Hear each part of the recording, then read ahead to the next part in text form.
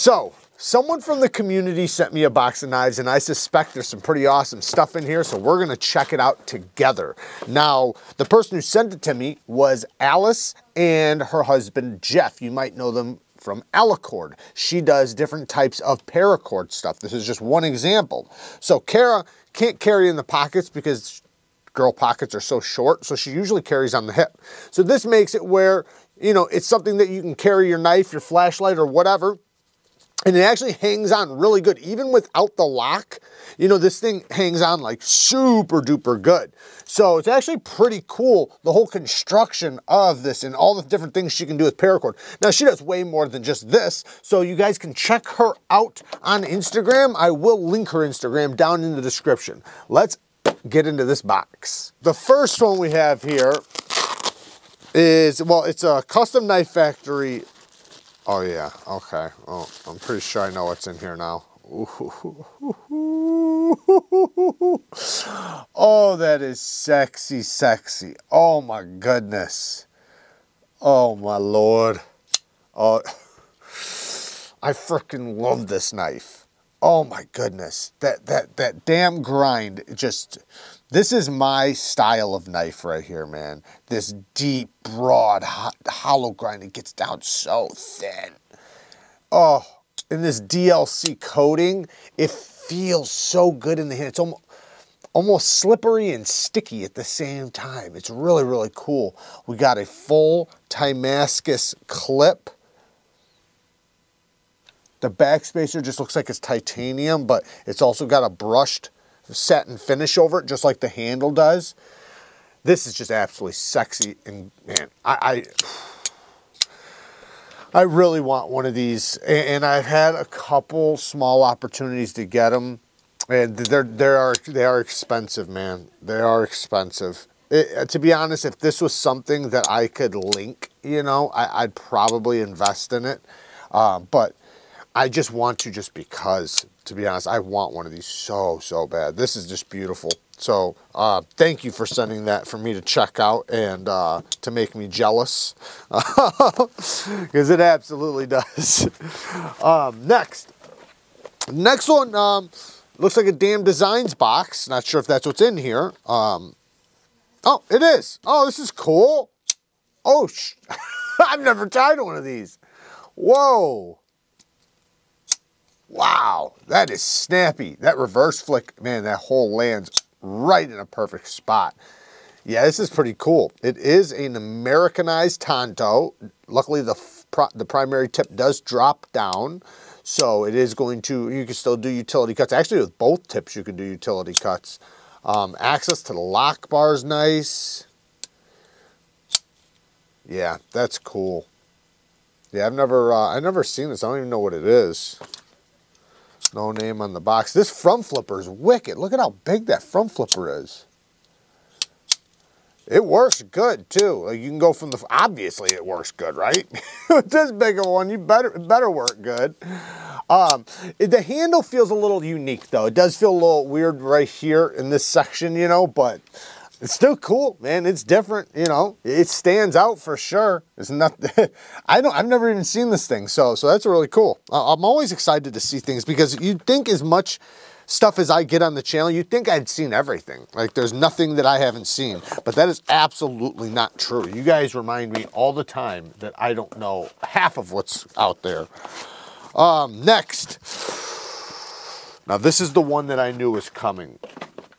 And um, I want to say, before we even get into this, this is something very, very, very special. Um, these are very expensive. So this is VC Edge. Oh my goodness. This is probably the lightest knife I've ever felt in my life. I mean, it's a full-size knife and you would think it doesn't weigh nothing. Like it, it's all carbon fiber. And just so you know, the blade is even carbon fiber.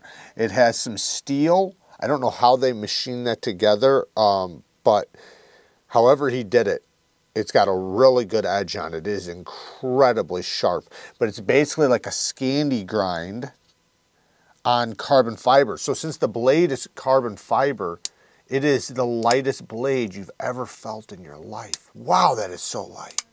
It is in, it doesn't even make sense. It almost, if it was anything else, it would feel cheap because you can't feel anything. Like it's literally, it's, there's no weight at all, right? It's like holding onto like a bottle cap or something, you know, there's just nothing there.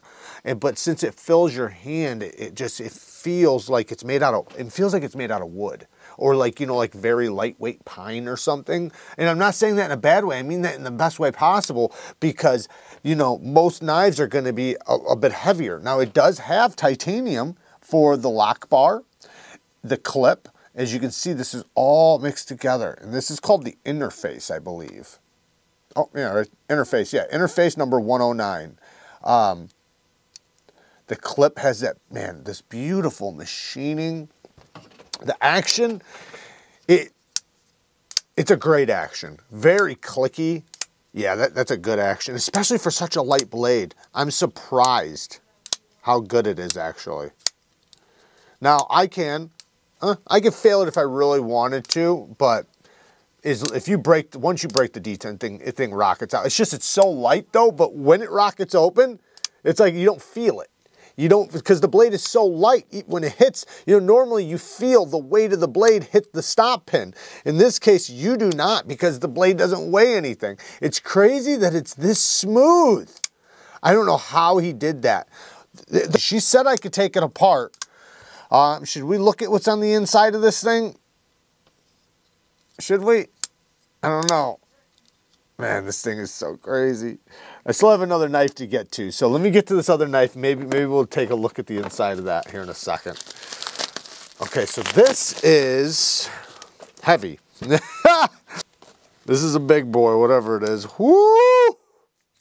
We got the AD15 with original goat scales. And I know they're original goat because I remember now she messaged me and told me.